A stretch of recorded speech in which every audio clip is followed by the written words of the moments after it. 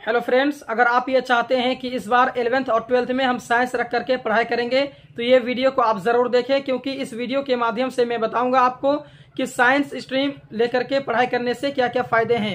यानी science subject रखने से आपके क्या क्या फ़ायदे हैं और साइंस से पढ़ाई करने से आपके कौन कौन से जॉब मिलेंगे, आपको कौन कौन से गवर्नमेंट जॉब एवं कौन कौन से प्राइवेट जॉब मिलेंगी, सारी जानकारी मैं आपको दूँगा कि आइए वीडियो को स्टार्ट करेंगे। तो देखिए, सबसे पहले ये बात आप जान लीजिए कि एलेवेंथ और ट्वेल्थ में जो साइंस जो रखते हैं तो टोटल आपको तीन सब्जेक्ट आपको पढ़ने का रहता है। क्या क्या पढ़ने का रहता है? देखिए, सबसे पहले फिजिक्स है केमिस्ट्री है मैथ है और बायोलॉजी है। लेकिन इसमें भी दो कैटेगरी हैं। यानी फिजिक्स या तो आप फिजिक्स केमिस्ट्री मैथ रखिए, या फिर आप फिजिक्स केमिस्ट्री बायोलॉजी रखिए। तो इसमें दो रास्ते हैं। तो आपको चूज़ करना है कि आपको कौन सा रास्ता में जाना है। यानी आप फिजिक्स केमिस्ट्री मैथ भी रख सकते हैं या फिर आप फिजिक्स केमिस्ट्री या बायोलॉजी रख सकते हैं। तो इन दोनों में से कोई एक आपको रखना पड़ेगा। यानी आपको या तो मैथ चुनना है या तो फिर आपको बायोलॉजी चुनना है। किसमें? साइंस में। सब्जेक्ट जब आप चयन करेंगे तब। तो आपको ये डिसाइड करना है कि आपको इंजीनियर बनना है कि डॉक्टर बनना है कि वो अदर्स लाइन में जाना है। अगर आपको मेडिकल फ़ील्ड में जाना है मेडिकल फ़ील्ड में अगर आपको करियर बनाना है तो आपको जो है बायोलॉजी आपको चुनना होगा। यानी आपको फिजिक्स केमिस्ट्री और बायोलॉजी चुनना होगा। लेकिन आप ये चाहते हैं कि हम मेडिकल फ़ील्ड में नहीं जाएँगे, वो अदर्स फ़ील्ड में जाएँगे तो आपको बायोलॉजी नहीं चुनना है, बल्कि आपको मैथ सेलेक्ट करना है। यानी फिजिक्स केमिस्ट्री और मैथ आपको सेलेक्ट करना है। तो आपको तो पता चल ही गया होगा कि साइंस में कितने सब्जेक्ट पढ़ने का रहता है और आपको कौन सा सब्जेक्ट सेलेक्ट करना है।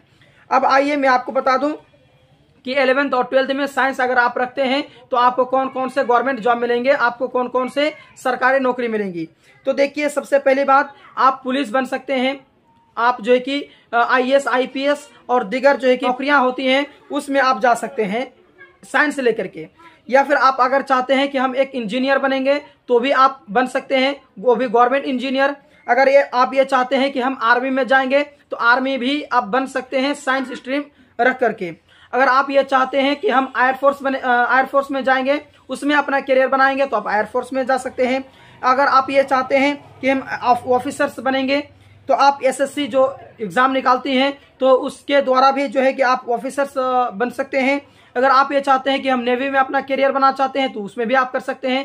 कहने का मतलब है कि साइंस स्ट्रीम लेकर के आप अपना करियर बना सकते हैं बहुत ही अच्छी तरीके से, ठीक है? और मैं आपको एक नॉलेज की बात बता दूँ कि आर्ट्स सब्जेक्ट रखने के बाद में जो जो गवर्नमेंट जॉब मिलनी थी या फिर जो जो प्राइवेट जॉब मिलनी थी या फिर आप कॉमर्स रख करके जो जो जॉब आप कर सकते हैं, जो जो प्राइवेट या हो या गवर्नमेंट हो जॉब कर सकते हैं तो आर्ट्स हो या कॉमर्स में जो जो नौकरियाँ मिल सकती हैं, आप साइंस रख करके आप तीनों, यानी साइंस आर्ट्स और कॉमर्स तीनों फ़ील्ड में आप जा सकते हैं। आप अगर साइंस रखते हैं तो ठीक है? यानी आर्ट्स में जो जो नौकरियाँ मिल सकती थी, साइंस पढ़ करके भी आप वो कर सकते हैं। कॉमर्स में जो जो नौकरियाँ मिलनी थी, आप साइंस पढ़ करके भी कॉमर्स वाला नौकरी ले सकते हैं आप। ठीक है तो ये नॉलेज की बात है। लेकिन अगर आप आर्ट्स की तैयारी किए हैं तो आप साइंस कैटेगरी में नहीं जा सकते हैं। कॉमर्स की तैयारी किए हैं तो आप साइंस कैटेगरी में नहीं जा सकते हैं। तो ये सभी फ़ायदे होते हैं साइंस तैयारी करने से, ठीक है? तो मैंने तो थोड़ा बहुत बताया गवर्नमेंट जॉब के बारे में। तो इससे भी बहुत ही ज़्यादा और भी नौकरियाँ हैं, जो कि मैं गिनाना भी मुनासिब नहीं समझता हूँ। आइए और भी मैं आपको बता दूँ कि साइंस अगर आप रखते हैं इलेवेंथ और ट्वेल्थ में, और आप तो आप अपना करियर कैसे बना सकते हैं? करियर ऑप्शन क्या क्या चुन सकते हैं? आइए बात करते हैं। देखिए सबसे पहले की चीज़ कि आप इंजीनियर बन सकते हैं और इंजीनियर फ़ील्ड में आप अपना करियर बना सकते हैं। अगर आप साइंस रखते हैं तो।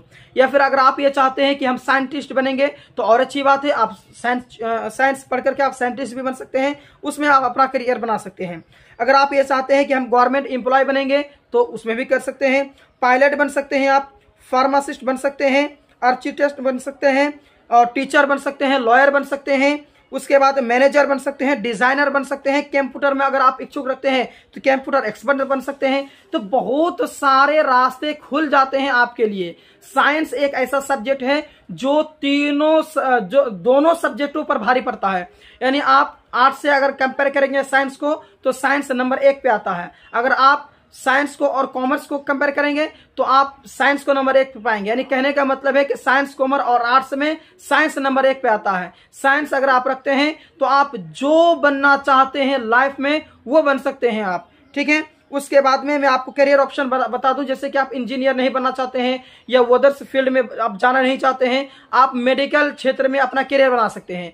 तो आप साइंस का चयन करें। साइंस बहुत ही अच्छा जो कि परफॉर्म करेंगे आपके लाइफ को बनाने में, आपका करियर बनाने में। तो देखिए, अगर आप एक डॉक्टर बनना चाहते हैं तो आप साइंस रखें। डॉक्टर बन सकते हैं, उसके बाद फार्मासिस्ट बन सकते हैं नर्स बन सकते हैं आप साइंटिस्ट बन सकते हैं आप डेंटिस्ट बन सकते हैं। इसी तरीके से बहुत सारे जो है कि मेडिकल फ़ील्ड में मेडिकल क्षेत्र में आप अपना करियर बना सकते हैं। ये कुछ बातें थी जो कि मैंने आपको बताया कि अगर आप साइंस रखेंगे तो आप क्या क्या बन सकते हैं। तो मैं जितना गिनाया हूँ, इसके अलावा आप अगर साइंस रखते हैं और उसके बाद में ग्रेजुएशन मुकम्मल करते हैं तो आपके नज़र आपके सामने बहुत सारे तरीके खुल जाते हैं, बहुत सारे रास्ते खुल जाते हैं। ठीक है, आप अपना सपना को पूरा कर सकते हैं साइंस को लेकर के। आई होप आपको बहुत ही अच्छी तरीके से समझ में आ गया है कि साइंस स्ट्रीम को लेकर के साइंस सब्जेक्ट को लेकर के अगर हम पढ़ाई करते हैं एलेवेंथ और ट्वेल्थ में तो हम क्या क्या बन सकते हैं, अपना करियर कैसे बना सकते हैं कौन कौन से गवर्नमेंट जॉब मिलेंगी क्या क्या हम कर सकते हैं, हर चीज़ मैंने आपको बताया। तो अगर आपको हमारे इस वीडियो से ज़रा भी फ़ायदा पहुँचा है तो प्लीज़ हमारे चैनल को आप सब्सक्राइब करेंगे लाइक करेंगे शेयर करेंगे। तो मिलते हैं एक और वीडियो में, तब तक के लिए धन्यवाद।